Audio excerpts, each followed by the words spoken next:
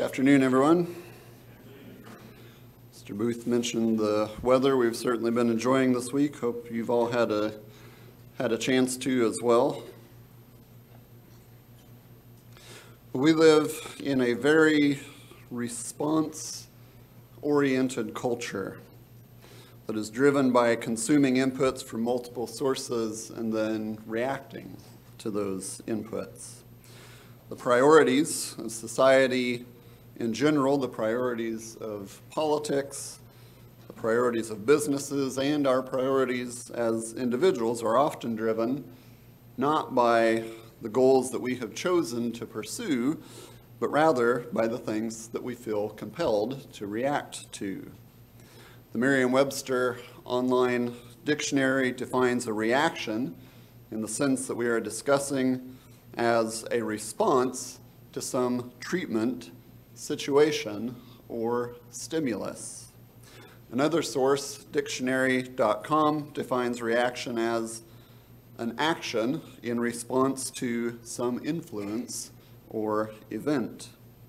Reactions can be generated in response to both internal and external stimuli or a combination of both. In many cases, it can be difficult to discern whether a particular reaction is driven more internally or externally.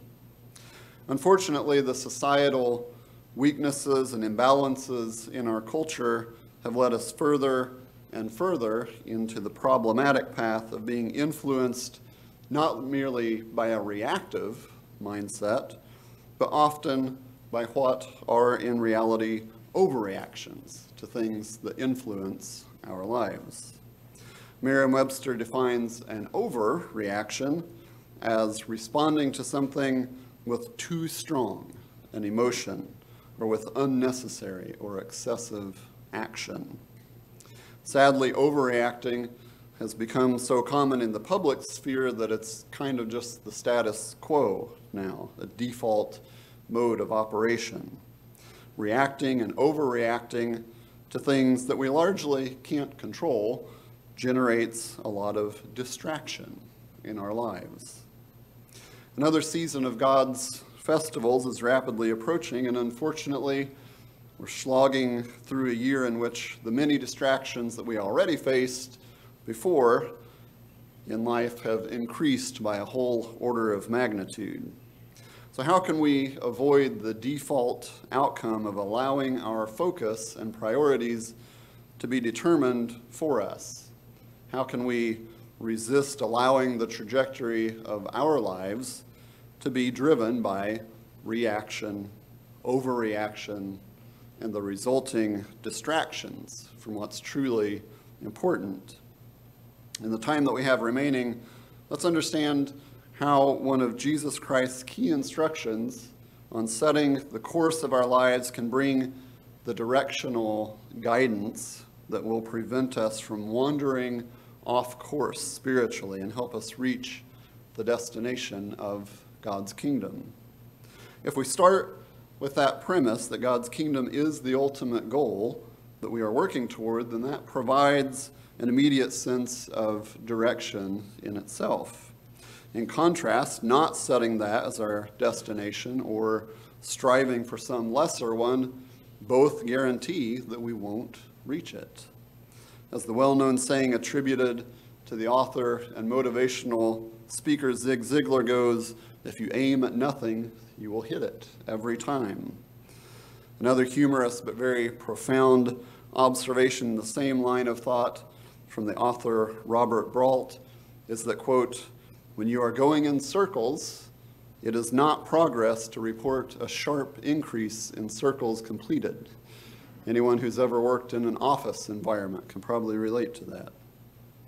You might have already guessed the specific instruction from our Savior that we'll be focusing on. It's found in Matthew 6, Matthew 6, in the first portion of verse 33, where Jesus said, But seek first the kingdom of God and his righteousness. Right now is a very good time to be thinking about pursuing God's kingdom above all else in our lives. Again, if we accept and internalize God's kingdom as the destination, then the two key words relative to our choices here are seek and first. The word seek is the Greek zeteo from Strong's Concordance. It could also be translated as desire, endeavor, or inquire for. The word first is the Greek proton. From the New Testament Greek lexicon at BibleStudyTools.com, its implication is first in rank, influence, or honor, of chief or principal importance. It's meaningful to note that in this passage from the Sermon on the Mount, Jesus' instruction was about the relative importance of God's kingdom as compared with all the other priorities in our lives, and specifically those things that tend to cause anxiousness or worry within us. With respect to the difficulties of life that tend to automatically be slotted up at the top of our emotional and mental energy consumption lists, Jesus said that the answer is not focusing narrowly on or within those challenges, but broadly and beyond them to life's ultimate purpose. The last half of verse 33 states that when we set our hearts on the coming reign of God and his complete righteousness, the very real needs and challenges of this life that understandably cause distress and discomfort for us sometimes will be addressed as well. Now, just to be clear, the addressing of our needs can often take many forms that may or may not align with what we had hoped for or envisioned. The Holman Christian Standard Bible has the last portion of verse 33 as all these things, again, in the context, the things that we tend to worry about, quote, will be provided for you. The wording here reminds us and refocuses us on the reality in our thinking that God is our provider. Again, we know that God's responses to what we request or hope for may be a bit different than what we were thinking, but God promises, nevertheless, to provide based on His understanding of our needs. There is danger, as mentioned at the beginning, with undue influence on our thinking from reactions and overreactions and distractions. The problem is that they move our focus really in the wrong direction toward things that don't contribute to achieving our most important priorities and the most meaningful things in our lives. Jesus said in the Sermon on the Mount that we already struggle with putting too much focus even on the genuine needs and difficulties in our lives.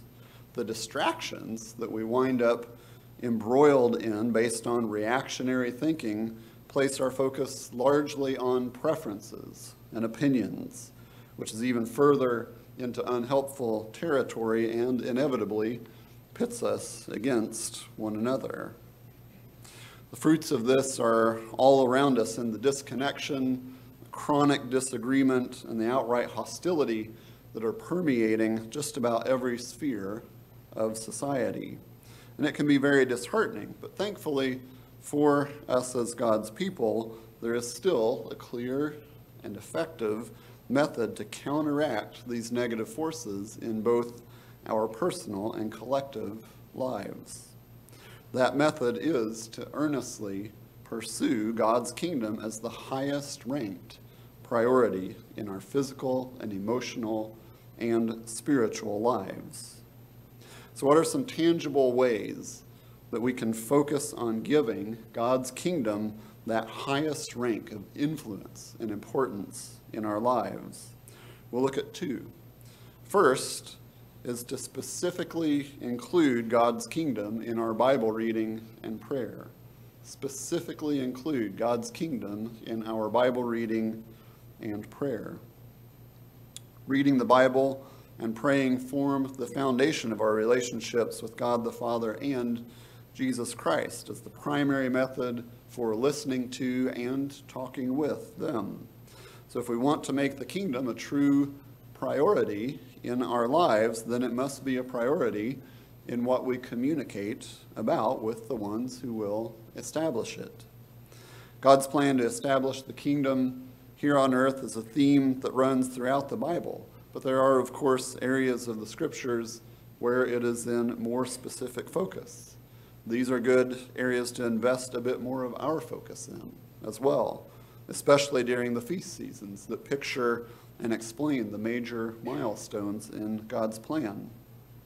In the same Sermon on the Mount, where Jesus gave the instruction to seek God's kingdom first, he also specifically said that it should be a key element of our prayers. Let's look at Matthew 6, starting in verse 9. Matthew 6, verse 9, where Jesus said, In this manner, therefore pray, Our Father in heaven, hallowed be your name. Your kingdom come. Your will be done on earth as it is in heaven. And of course, the meaning of this instruction is not simply that we remember to mention the coming kingdom in our prayers, but that we fervently crave the reality of it. The Young's literal translation has verse 10 as, Thy reign come. Reign meaning authority of rule thy will come to pass. So far beyond a vague idea of a better time than now, we have to yearn for everything in this world, including our own character, to be different, with the key differentiator being conformance to God's will in ways that aren't fully possible in this life. When we pray for that kingdom to come, it will profoundly change the focus of our lives. The second way that we can give God's kingdom the highest rank in our lives is to evaluate our thoughts and actions with a kingdom filter. Evaluate our thoughts and actions with a kingdom filter. The author, Robert Brault, makes the profound observation that we should, quote, occasionally ask, what is the connection between what I want most in life and anything I plan to do today? If we asked ourselves that question more often, it would likely result in some, some, in some substantial changes in daily routine for most of us. What do I want most in life, and how is it connected to what I'm going to do today? Now, we should qualify, of course, there are lots of mundane things that, yes, we have to do. We have to go to school, to work, the diapers have to be changed, the groceries have to be bought. Those things have their own place in our character development. But in the discretionary time, what are the things we want most? And how do they connect with what we choose to do? In the parable of the minas recorded in Luke's gospel, Jesus illustrated the personal commission that we've been given as God's servants. I'd like to read this from the English Standard Version as the wording is clear with respect to our topic here. So, Luke chapter 19, I'll read verses 12 and 13 and 15 from the English Standard Version. It says, He, Jesus, said, Therefore, a nobleman went into a far country to receive for himself a kingdom and then return. Calling ten of his servants, he gave them ten minas and said to them, Engage in business until I come. When he returned, having received the kingdom, he ordered these servants to whom he had given the money to be called to him, that he might know what they had gained by doing business. In the spiritual application of this verse, the minas given represent spiritual gifts and ability and potential. The minas gained represent the godly character that we are expected to be pursuing and developing over the course of our lives. The Nelson Study Bible's comments on verse 15 explains the clear implications of what we must all anticipate when God's plan to establish his kingdom at the return of his son comes to pass. It says, quote, having returned with authority to rule, the nobleman asked the servants to give an account of their labor in his absence.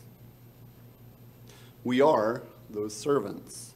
And when the time comes to give an account of our spiritual character, the need to filter our thoughts and actions based on whether they bring us closer in alignment to or further in alignment from God's kingdom will be very evident, which is all the more reason to make use of that filter a habit now and use it to help avoid the reactions, overreactions, and distractions that can so easily consume much of this life.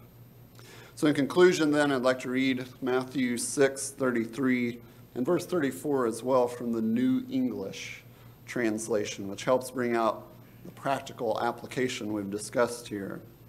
Matthew 6, 33 from the New English translation says, But above all, pursue his kingdom and righteousness, and all these things, again, the needs and context that we tend to become anxious over, will be given to you as well. Verse 34 So then, do not worry about tomorrow. And we might read in about the reactions, the overreactions, the distractions. For tomorrow will worry about itself. Today has enough trouble of its own. Especially as this incredible season of God's feasts approaches, let's focus on pursuing His kingdom as the highest ranking and most influential priority in our lives.